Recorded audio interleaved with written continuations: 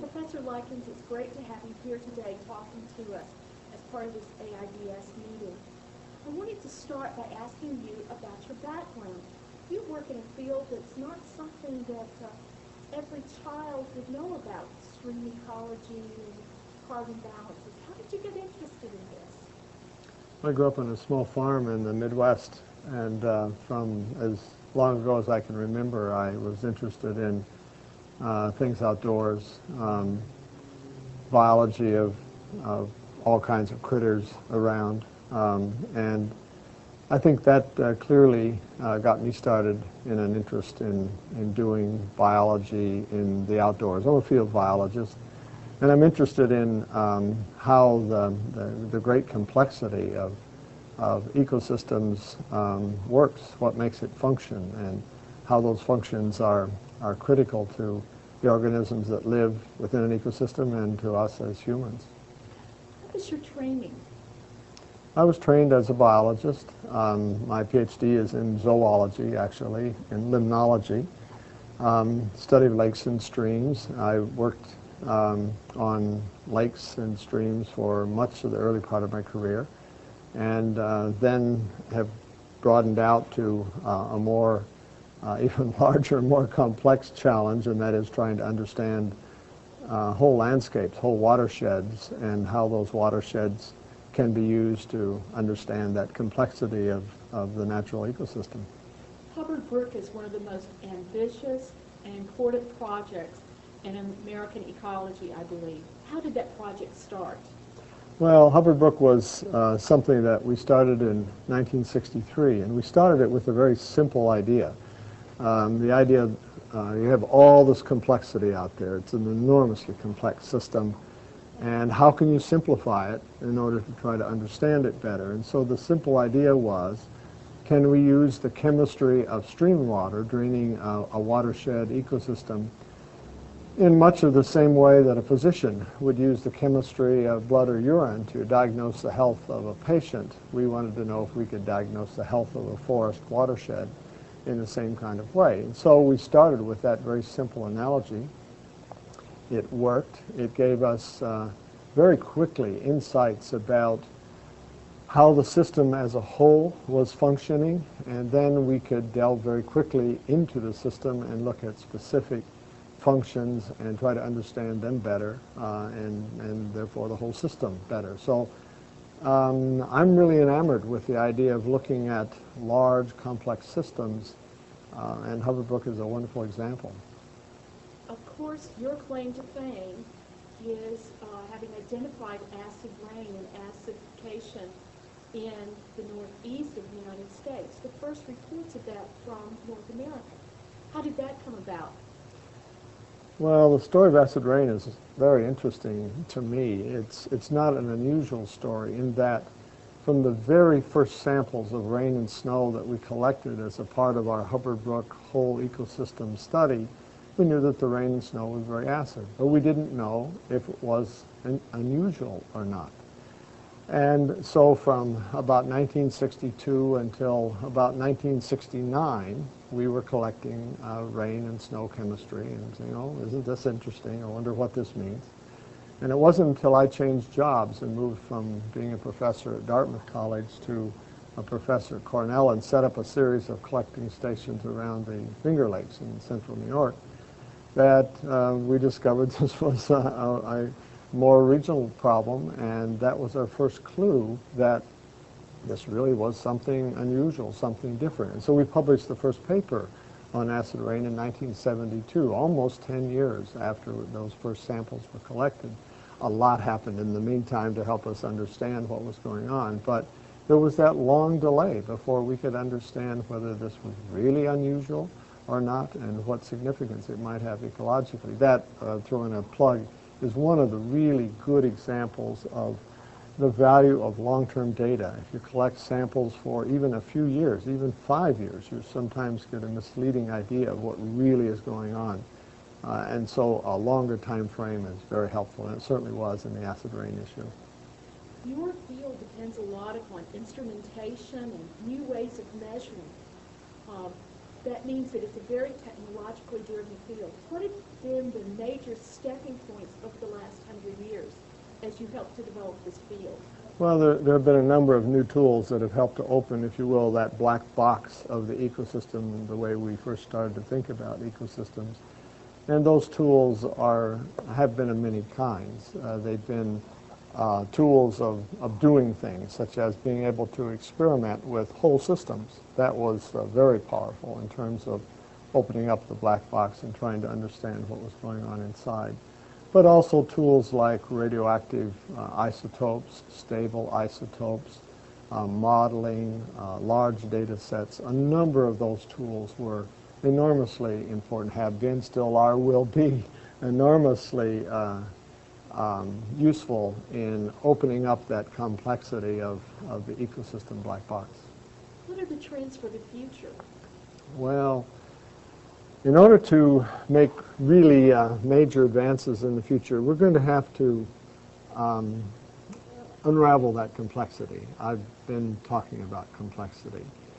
And rather than avoiding it or ignoring it, um, the real secret, in my opinion, is to try to develop ways of simplifying that complexity so that it can be studied, so that it can, can be understood.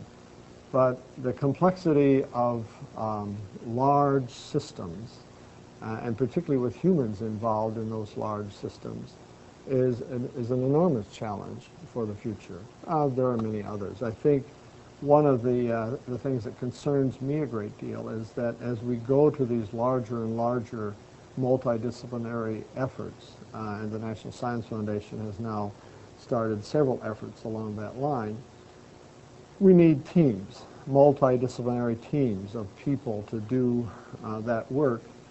And we've given relatively little thought as ecologists to how to structure those teams, how to uh, train the team members so that we can truly develop an interdisciplinary team rather than a multidisciplinary team. An inter interdisciplinary team is one that works on the the boundaries of all the disciplines that are involved rather than just having each person do their own thing. So I think that's a huge challenge for the future. I think it's quite solvable, but we haven't given that enough effort. In your current title and position, you guide a large team. Mm-hmm. You're still experimenting in the Hubbard Brook area, or where are you working now? Yeah, the Institute of Ecosystem Studies that I direct is um, a group of, of scientists that uh, not only are very bright, but they enjoy working together. And they have uh, developed several large um, team-oriented projects ranging from efforts towards savannization of the Negev Desert in Israel to uh, large studies of the Hudson River ecosystem to a major new effort um, which uh, we lead as part of the Baltimore ecosystem study, a study of the whole Baltimore area as an ecosystem. And these are large team efforts. They involve um, the scientists working together, sharing information, and, uh, and, and the old saying, we try to make the, uh, uh, the whole more than the sum of its parts. What are you finding out about our environment now? Well, things are changing dramatically. Ecosystems are being buffeted from all kinds of, of insults that we humans uh, throw at them. And um, they clearly are efforts that we will have to, um, to deal with in the future. So as we as professional ecologists gain um, more knowledge and better understanding, then we can apply that understanding toward solutions, helping to guide solutions for um, managers, decision makers, and others. But the problems are, are very large, including the one uh, that gets probably the most headlines these days is uh, global climate change, but loss of species, invasion of exotic species, or, or now it's referred to alien species, uh, land use changes, uh, toxification or pollution of the biosphere. These are still major, major problems. And they're occurring at such large scales uh, that it requires a large-scale effort and a multidisciplinary team effort in order to make understanding. We have to, um, we have to also add, uh, which we've not done very well in the past, social scientists, economists, um, um, historians, um, people, into this equation if we're going to make real progress, in my opinion. Can you get this message out to people? We try to get the message out to people at every opportunity. I guess that's why I'm speaking to you. But um, it's difficult. It's difficult because there are other factors in that equation. Um, there are economic considerations or political considerations, um, all of which I would argue are tied intimately into uh, an analysis of an ecosystem and how it functions and how it changes. Uh, but people have different perceptions of what they think are important. And some of that may be a lack of understanding of what truly is important from a biological point of view or from a sustainability point of view, that is to, to um, protect an environment or protect a way of life into the future. Um, so those are tough challenges of what I would just call general ecological literacy that uh, we have to meet and we have to succeed with. What does science have to do to meet these challenges in the future? Well, we as scientists, I think, um, we, we try to develop new knowledge. We try to develop a better understanding. Um, that's only one part of the equation, but it's an important part of the equation in terms of making intelligent decisions. And so I think it's um, very important for scientists to be able to um, make that information known to uh, the public and to policymakers. I'm fond of a phrase that we use at the Institute of Ecosystem Studies, and that is that we not only collect data, but we want to be able to, to translate it and transmit it to the public. I mean, only a part of our job is done if we just collect the data. We have to make it available and understandable to decision makers and to the public. Do you see a greater integration of sciences in the future?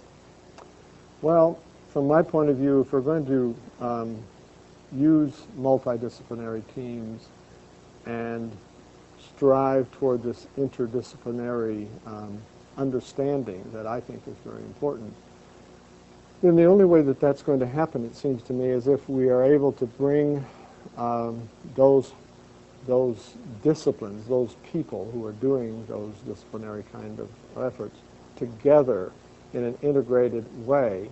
But even more important is the integrated results, the integrated management that uh, we would like to achieve. Do you like the truck in the background? Yeah, I had to read it just to say we have to do that one. I couldn't hide that one. I'm going to need to go.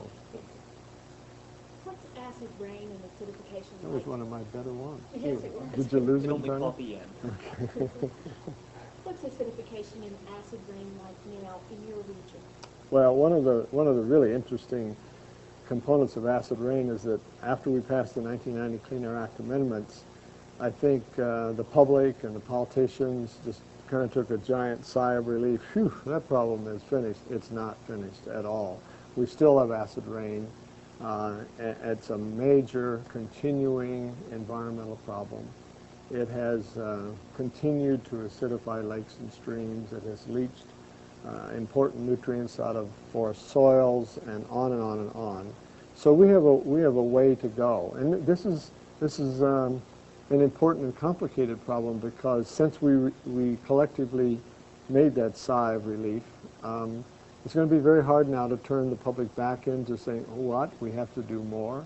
Well, we do. Uh, from a science perspective, we know we have to do more, but I think it's going to be a very difficult task to convince the public that, well, why didn't we do it in the first place? I can't give an answer to that. That was a political decision, but I can tell you that the acid rain problem has not been solved. I want to thank you for talking with us today because your research has really had an impact, at least on policy and some of the way that we live our lives in North America today. Thank you very much, Professor. Thank you.